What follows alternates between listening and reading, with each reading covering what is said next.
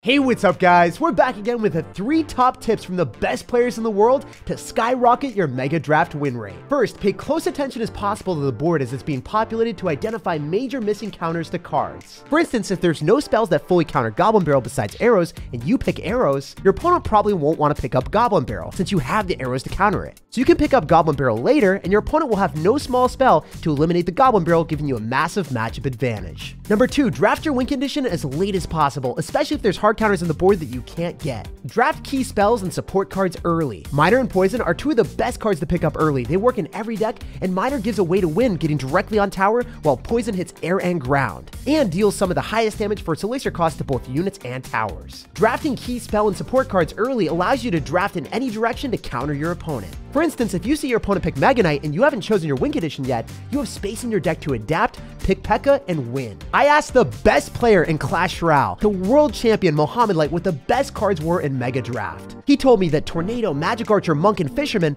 along with Miner and Poison, are all S tier cards worthy of being picked first in most draft choices. So if you have first pick or you're picking early, pick those cards instead of choosing a win condition. Number three, most cards require Synergy. You can't make an Elixir Golem deck without Battle Healer or a good graveyard deck without Poison or a combo of Freeze plus Arrows. Don't just pick a card that you like because the card is there, pick it because of a strong Synergy with your cards, an advantageous matchup against your opponent's cards, or because it's a safe pick like Miner or Monk that works with and against almost all cards in the game. So let's put all the top players' advice into action, jump into some draft games, and assert dominance. Lots of love to everyone that's using Create Code Tag to make all the daily videos possible. All right, let's get it. So first things first, we're first pick. There's only one good big spell in this entire arsenal of cards you can pick. So we are definitely to go and snag the poison.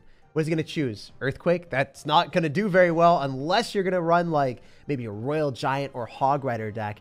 And there's only Hog Rider available. So if I was him, I would probably run Hog Rider Earthquake. And that would be what I would choose. So I don't want to pick Mortar. And I do not want to go and pick Spear Goblin Hut. So I'm going to go and choose fast cycle cards because they're always very valuable. I think after he chooses double small spells, he can't fit Snowball in his deck. I will pick Snowball up later since it's going to be incredibly valuable for me in the later stages. Yeah, it just looks like he's running Hog Rider Earthquake. So what are cards that are difficult for him to deal with? I think guards are fantastic here. He's not going to choose Miner plus Earthquake, right? No one does that. You would never steal my Miner here. I can save that for the later stretch. And I have Prince. Interesting. That was a card that I was going to snag. I think Cannon Cart is really good here. Goblin Barrel will be terrible into someone that's got Royal Delivery and Log. So Mini P.E.K.K.A and then also Prince are pretty good at catching miners. I still think that miner is going to be our best win condition, so I will pick it up right now. I don't want to go and drop anything else. I mean, I guess minions could work pretty well. Bomber for a faster card cycle is pretty good. I mean, he could choose Lightning as well. I kind of forgot that Lightning was there. It's sometimes when the cards are spread out, you don't get to see them all. I thought all the big spells were right next to each other, so I was like, oh, yeah, Earthquake, you know, Graveyard, and then also Poison all lined up. Yeah, the small spells are kind of close to each other too with the Snowball and then the Log. I don't know. I wish they ordered it with the spells next to each other so it'd be easier to find. What do we want? I think I'm going to go and choose Princess. It's a really good card for stacking up a lot and then just making your opponent really annoyed with you. I think probably Snowball would be good here. He's going to choose Earthquake for sure, so I want to choose Inferno Tower. Inferno Tower is really good at killing Royal Giant, even if he Earthquakes, because it doesn't really matter how much HP it's at, it will still do its job. I can use Snowball to slow things down, and he chooses Earthquake as expected. I knew he was going to do that. It would have been funny if I chose Earthquake, but then he would have had Lightning as well, and Earthquake doesn't really do anything for me, so it wouldn't make sense for me to choose. Can I choose Mighty Miner? Or can I choose... You know what? I think that Golden Knight would be infinitely better in this situation. Because it's going to dash onto Rascals. It'll stop the Prince's charge. And it's a great card with Miner in general. So, yeah, we're going to go roll with this deck and see what we can do. I don't think that Snowball was going to give me that much utility there. Because it doesn't kill Rascals. There weren't too many cards that get affected by it. Like the Prince and the Royal Giant, they don't get pushed back by the Snowball. So I was like, ah, you know, that's why it's really important to switch and choose the cards last if you're not really sure if you need them in your deck. Like the Snowball, it was nice to have in the deck for sure as a starting card if there were no other small spells in the deck pool, but he wasn't going to choose it, right? Because he already had so many other small spells. It gave me the option of having that flexibility. This guy is going to go in for a mini P.E.K.K.A and then Royal Delivery here, so I kind of want to go for an Ice Spirit to go and pull back the mini P.E.K.K.A so it doesn't get a hit on my tower. Fantastic stuff for us. Wait, does the Princess get hit? Oh, no. Princess, you were not in the best spot. You made me drop guards, and I'll never forgive you. But yeah, my princess should have been dropped one tile lower. Totally fine for us, though. It's all good. Rascals after the buff are ridiculously good. I need to go in for a bomber here, so then the girl rascal hits the bomber, hopefully, and then we can finish off also the thick boy as well, and not take too much damage here at all. Just not keen on eating damage against someone that's got RG. Gonna go and cycle my Golden Knight in the back, and see, if I had Snowball here, it'd be way worse for me. Now I can just go and drop the one elixir ability and say hello to value, and say goodbye to the Prince's Charge. He's gonna go in for a log. Okay. If I go Miner here with the Golden Knight, and then I go guards on the other side, and you don't have log, how are you expecting to defend these guards? They should go directly towards the tower. If I'm not super unlucky. Yeah, look at the damage.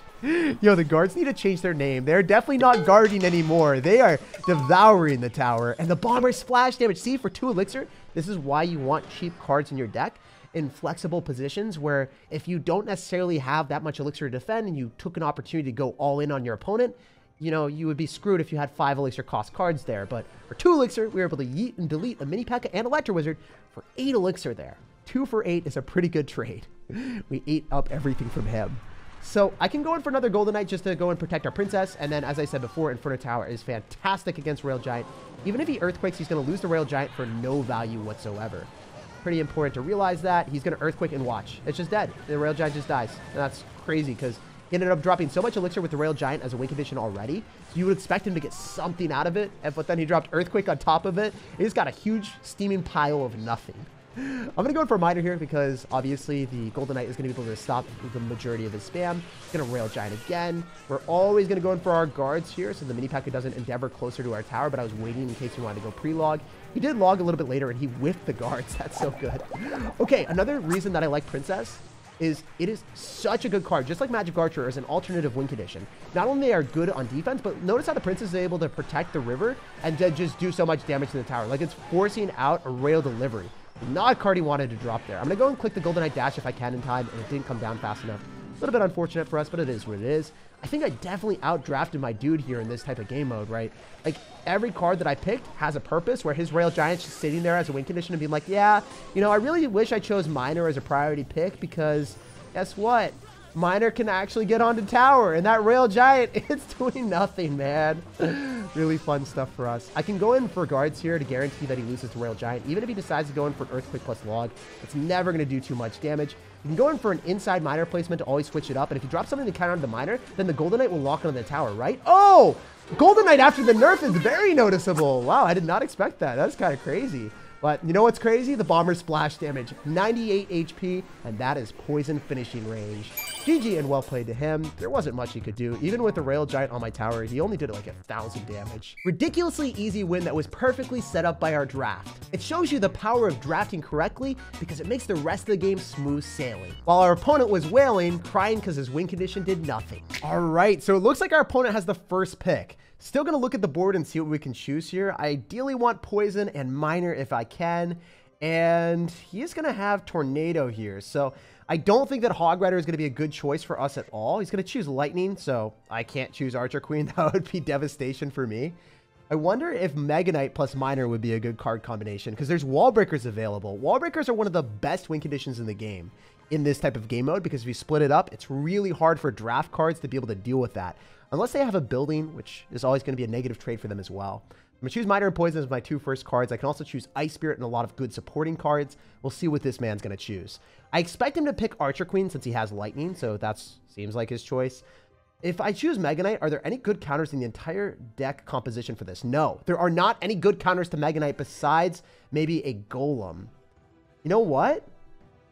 I do want to choose Mega Knight, and if you choose Golem, then I can maybe go and pick like a Mega Knight Inferno Tower deck, as dumb as that may seem.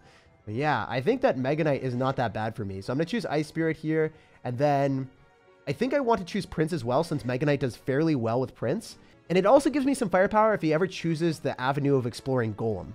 Golem is the only way that I would lose this type of situation. So he's going to go for Sparky. Not very scary for me at all. I'm going to go and choose Phoenix since I'm able to disintegrate that from the air. And we'll see what he picks. I mean, I'm, I'm psyched for it. I'm here for it. Wall breakers are going to be a fantastic win condition for me. So I'm going to go and choose a Mega Knight early. So he, then he's stuck with like some weird tank like Golem in front of it. Or maybe Elixir Golem, which will get shredded by our Mega Knight. I'm just stoked to figure out what my opponent's going to do. So, what you going to pick, my man? I also want them to decrease the time waiting for the opponent because I think that picks should be fast, like 10 seconds, not 15 in my opinion. You guys can let me know down in the comment section what you would choose or change about Mega Draft. I would also have the card levels structured at level 11 for everyone for all cards because then, you know, you're able to use every strategy then. That would be my other big choice that I would change. So he is picking Goblin Cage, Hog Rider with Sparky. So obviously a fantastic card composition for us to play into. I am going to go and pick probably uh, Royal Delivery. So then I'm able to stop the Sparky and then just have some type of nice reset. And then lastly, I'm going to go and pick our wall breakers. So I think I have a fantastic avenue to explore on defense with Mega Knight for his Hog Rider, Prince for his Hog Rider plus Ice Spirit, and then Miner plus Wall Breakers for a really cheap and efficient win condition that aren't very counterable by anyone. So we'll see what happens. Wall Breakers at the start and the middle is always the best play no matter what you're doing. Wall Breakers will give you a positive elixir trade. So he's going to go for Heal Spirit and Tornado. That's already four elixir for two. That's what we love to do.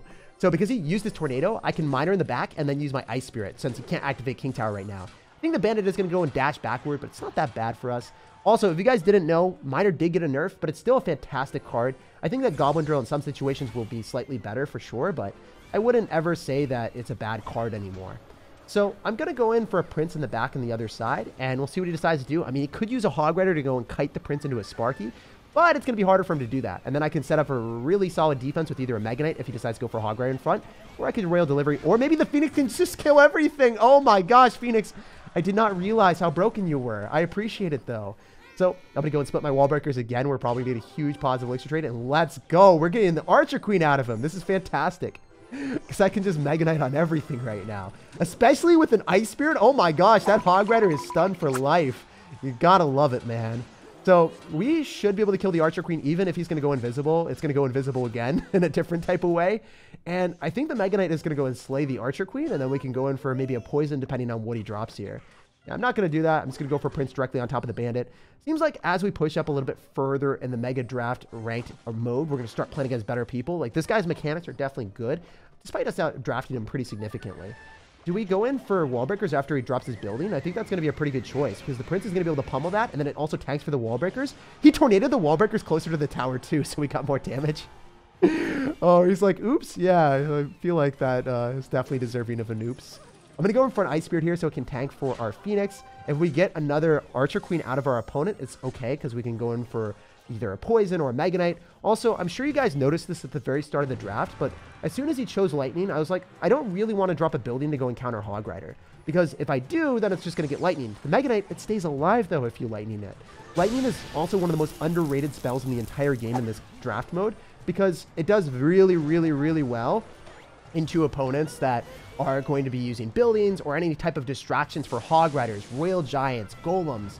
It works with almost every deck, so I think that Lightning is criminally underrated as a spell. If you don't choose that early on, I think that Poison, Fireball, and then spells that are pretty valuable no matter what type of deck you're playing are good, but Lightning works in a lot of big beatdown decks if you want to use it. So, what do we do? Do we go in for a Phoenix here on top of all of his units and then just clog up the river and make sure nothing happens?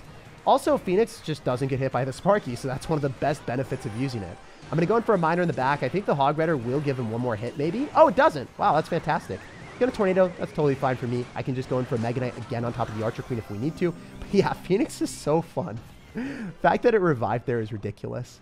We're going to go in for a Mega Knight on top of all of his stuff. He's trying to bait out my Elixir so then he can go in for a Hog Rider, but because the Mega Knight is able to clog up the Hog for a while, we can probably just defend everything with a Prince and an Ice Spirit without much damage. And then I can go in for a Miner here. This guy seems probably like an Ultimate Champion player by the way he's played. Like, he's played this really well setting up offenses, but it doesn't really matter.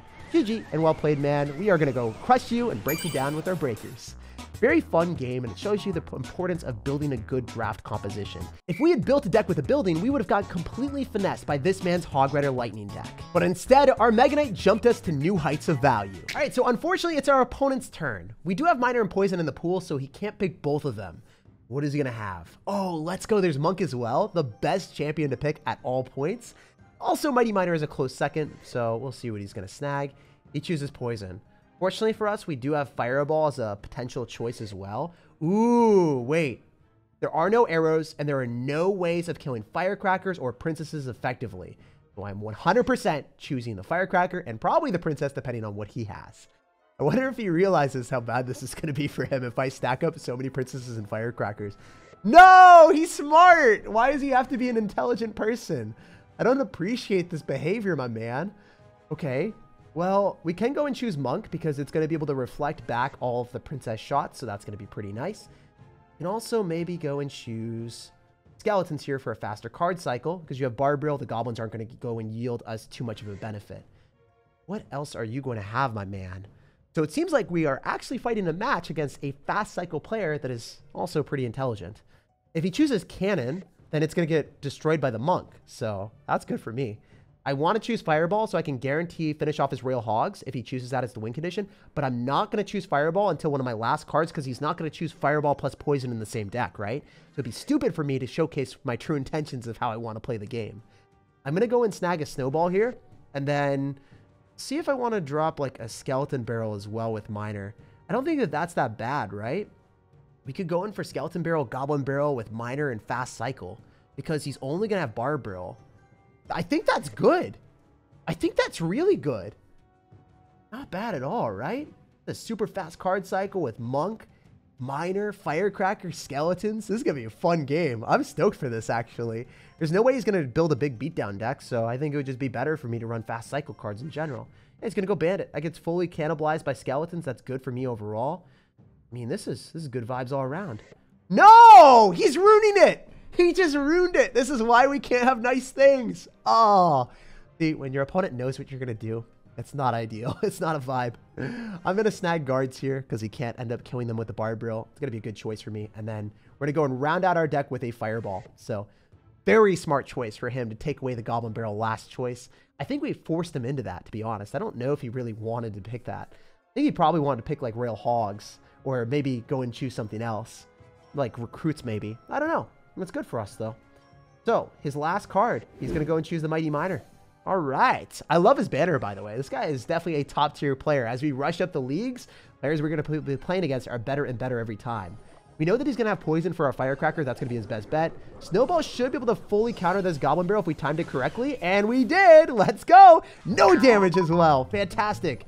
So we're going to go for a miner and a skeleton barrel because we want the skeleton barrel tanking for the miner so the miner can do extra damage. And even after the nerf, miner is still the best win condition in this game mode by far. We're going to show you the proper skeletons placement to fully counter the bandit if we need to. Uh, what is he going to do? His Barbril doesn't extend far enough, so I think we can just go in for our skeletons here and be very content and happy with our life. And then Fireball on the Princess. So, what else do we do? Do we do anything else? Are we chilling? Oh, the Bandit did get a touch. I guess I should have dropped it a little bit later, a little bit lower. My bad. Yeah, usually the Bandit doesn't get a single hit on my tower there. He's going to go for Mighty Miner. The good thing about Mighty Miner into Monk is the Monk shoots back the Mighty Miner with his little fist. Just punches it back. So the Mighty Miner's like, yo, I'm going to ramp up all this damage. And he just doesn't get it. Watch it. He's just dead again. he poisoned as well. So that means he has no answer to the Firecracker. So if we can Firecracker with the Monk protecting it, that would be fantastic.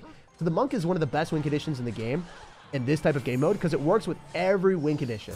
It works with Royal Giant because it reflects back the buildings. It works fantastically with your opponent deciding to go in for like Ram Rider counters with like cannon or whatever. By the way, we did our cannon placement or our skeleton placement correctly there to fully shut down the bandit. We got our redemption arc. But yeah, Monk is just so good at just tanking for an extra period of time so your win conditions can get more value. Like my miner there got a lot more damage because of the Monk, right? It's just really cool to have that benefit. And it finishes off air cards like minions, magic archers, musketeers. It's just universally the best champion to pick in this type of game mode where you want to get more utility out of your units. Wait, he just dropped his cannon in the back to go and counter my miner. How is he expecting to counter a skeleton barrel right now with a monk? This is going to be awesome. Wait, the monk just blasted his mighty miner back so it can lock onto the tower. Our deck is so much more toxic than yours. This is awesome. You can go for a firecracker here. You're going to go for a goblin barrel. This time we're going to have to fireball it, unfortunately. I don't really have any other play available for myself. If you think about it, if I decided to go in for a snowball, it wouldn't fully counter it because the Goblin Barrel was getting tanked for. That was a very smart decision. I also like his choice of using Goblin Barrel when I didn't have any reliable way of countering the Goblin Barrel for a good Elixir trade because there wasn't a log or a Barbarian Barrel for me to choose from because he already chose the Bar Barrel, right? So that was a very smart choice from our opponent. I like playing against good people because just, you know, test my wits a little bit more and it makes me play my best in this Mega Draft. I'm to go for Skeletons here, so then hopefully the Bandit locks onto that. And look at how I'm stacking up Firecrackers. As I said before, it's tremendously difficult to counter Firecracker if you don't have arrows or log, and he didn't have either of those. So that's why I identified the pool of cards, and I chose exactly what we wanted. Now we can go for a Monk at the River, and you can finish off games with the Mr. Monk Man as well. So we're to go and send him to the Shadow Realm with a Monk Meditation. A peaceful way and a fitting end for our friend. GG and well played as we ripped his towers to pieces with a fireball and monk ability. This deck was super satisfying to play. The one thing that I love about this game mode is you get to play so many different cards and you get to revisit interactions that you might not have played in a while. For instance, I typically run goblins in almost all my decks over skeletons and I hadn't practiced the skeletons placement versus bandit. We messed up the first time, but we got redemption in the second part for a plus two elixir advantage. Mega Draft takes a ton of skill because you have to memorize the most optimal placements with a ton of different cards. I would love if they added this game mode as a second Path of Legends ranked mode in addition to the regular ladder. So unfortunately, our opponent was given the first pick and he snags arrows. Doesn't really seem like there's any good big spells in this meta. So I'm going to go and snag the Monk early just because I want to go and pick Executioner Tornado so then he's not able to reflect back our Executioner and we can snag a lot of range cards that are going to be extremely valuable for us. So what is he going to do? I mean, he's going to choose arrows. We can't really reflect those back very well. He's going to choose Mighty Miner early as well. I disagree with that. You could have waited a while with the second champion pick because I can't pick another champion unless he doesn't want to show too much of his strategy early on. Oh, I forgot there was Miner in the corner. Sometimes you don't get to see all the cards if you're like not able to look at it eh, really closely. So just something to keep in mind. Look at every single card picked because I should have chosen the Miner a little bit earlier than that. So I would like Executioner. I don't think he's going to choose that. I want to go in for Skeletons for a faster card cycle here. And then I could also pick Fire Spirit because it counters Goblins for a plus one trade. That's going to be a really good choice for me. So what else do I want? Do I want to choose anything coupled with the Miner? I could choose Wall Breakers, and that would be one of the best win conditions paired with Miner, especially since he has Inferno Tower. That precludes any potential of me getting value with any big beatdown deck. So I want to choose Goblin Drill or I would want to choose Wall Breakers here. I kind of want Wall Breakers because it's a lot better. No! He finessed me. All right, I guess I can choose Recruits as well. Because he has Inferno Tower, and that doesn't do so well into Recruits, right? We stockpile a lot of spam on both sides. The Inferno Tower is like, wait, I do really well against Golems, not so well against you guys. And also pick up Princess if we want to. I think that wouldn't be a bad option because we can stack up a lot of those, make sure he can't finish them off very easily, especially since he's going to be using log most of the time on the recruits. I think that could be really good. I was hoping that we would be able to get a better card cycle here with our wall breakers, but I think I want to choose Royal Ghost as well. Yeah, Royal Ghost is going to be a really good element for us. Or, yes. Yeah, I think I just want to choose Royal Ghost. We want to pair Tornado with something here. Tornado will be good with Executioner for sure. We can line it up closer to towers. It works really well with Princesses. I kind of want to choose Fire Spirit just for a faster card cycle over the Executioner. And the Tornado will just be there for Princesses and a faster card cycle. And then also activating King Tower with Wall Breakers and then against his Goblins as well. So not that bad for us overall. He's going to choose Goblin Drill. Fine for me. We're going to spam recruits and eventually become successful. So it's really important to not choose your building as you saw this guy did at the start of this draft because if you choose your Inferno Tower, I can just build a win condition deck that is not going to be countered by that. And you have a dead 5 elixir cost card in your deck. Whereas the rest of my cards, you know, all 8 of my cards are going to be valuable for me. I can go in for a Royal Ghost here. His Hunter isn't going to give him too much value. Remember, he's got Goblin Drill, so I want to save our Monk for that ideally. A Fire Spirit off to the side so then we can finish off the Hunter without it being able to kill our Princess. And then I can go in for the Monk here in the middle. Monk him in the middle to solve the riddle against the Mega Knight. Whenever the Mega Knight jumps, we should be able to go for recruits afterwards, so then it doesn't get that excessive amount of splash damage that he's hoping for. We'll probably have to go and pop the Mighty Miner ability to disintegrate the Royal Recruit shields. If he doesn't, I think that would be a massive waste for my man. I'm going to go in for a miner here so then the recruits are going to be tagged for for a little bit longer. And even if he goes in for arrows plus goblins, as you guys can see, it doesn't finish it off. We can go for skeletons here. I'm going to go and click the monk ability so then it can still stay in front of the recruit and give us a little bit of extra offense. The longer that the monk stays alive, the longer our push will thrive. And we are up an exponential amount of damage in the right-hand side. That is crazy, baby. Let's go. I love it. you know you guys are probably like, Jake, me in. Thousand damage lead on both sides. But when you've got recruits, that stuff adds up real fast. Fire Spirit Eye on top of the Hunter again to fully counter it with the Princess. And I expect him to Mighty Miner, and then we just go Recruits again and make him pop the ability a little bit faster than he would want. Fortunately for us, even if he goes and pops the ability and goes the other side, it's immediately yeeted and deleted. We know he's going to go for Goblin, so I'm going to go for Royal Ghost immediately. And then I can go for a Miner as well if I want to. Do I Miner? Oh my gosh, the Recruits are going to be tanking. So the Inferno Tower doesn't lock onto the Royal Ghost. That's awesome, dude. Royalty is working in tandem together. So Again, I can go in for Miner. Generally, saving your skeletons for wall breakers is the best bet. If you have Fire Spirit and you also end up having skeletons, wall breakers are never really going to be breaking through. Even if they split it, you can split up your skeletons and be okay. Yeah, we're just going to do this. Drop two elixir on top of his two elixir. Even if he goes in for arrows, I think he only gets one connection. so he spent a ridiculous amount of elixir to get one wall breaker connection on my tower, which was also under leveled, by the way. So important to have properly leveled cards in this game mode. Really wish, again, that it was all level 11 for everyone standardized, but maybe they'll do that again in the future if they integrate this game mode into uh, ranked. At least that's what I'll be advocating for. So we can go in for a princess, and then I guess double princesses are going to be fantastic because it's going to be harder for him to snag decent value with his Mega Knight here. We can go in for our Royal Recruits after he decides to go in for the Mega Knight. He's just going to go and jump onto Skeletons instead of hitting anything of value. And then it's going to go and jump on the other side, which is completely away from us. And if it went a little bit longer, what I would have done is I would have tornadoed the Mega Knight into the King Tower. So I can go in for a Princess here, tornado all of his units a little bit closer to his tower. Hopefully the princess hits the hunter and then also finishes off the tower. I think that's what's going to happen. I think the princess wins us the game. Let's go. So princess, an alternative win condition that most people wouldn't expect. He literally had an inferno tower and units body blocking, but that doesn't stop the princess plus tornado card combination. But generally, tornado with executioner and magic archers and bowlers are way more effective that just shows you the power of Tornado in this game mode. It works with almost anything. As you line up units near your opponent's tower, the splash damage will line you up a lot of wins. Like if you enjoyed today's video, subscribe for more daily content, and I hope you have an incredible rest of your day.